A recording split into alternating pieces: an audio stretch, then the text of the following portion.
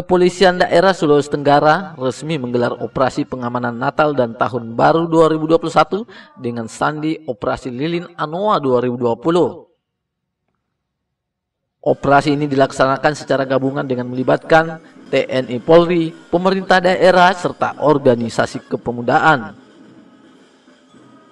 Pelaksanaan Operasi Lilin Anoa 2020 ini untuk memberikan rasa aman kepada masyarakat jelang perayaan Natal dan Tahun Baru.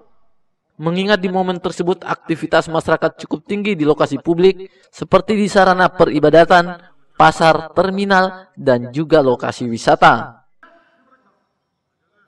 Kewaspadaan dan kesiapsiagaan dalam melaksanakan pengamanan dan antisipasi terhadap kemungkinan terjadinya aksi teror dan kriminalitas yang memanfaatkan momentum Natal 2020 dan Tahun Baru 2021. Laksanakan pengamanan secara profesional dan humanis.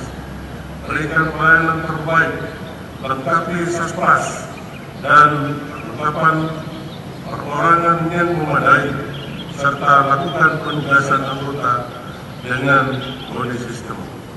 Tetaplah menjadi teladan bagi keluarga, rekan dan masyarakat dalam menerapkan protokol kesehatan mencegah penyebaran COVID-19, yaitu mencuci tangan, memakai masker, menjaga jarak, serta menerapkan pola hidup sehat dan bersih.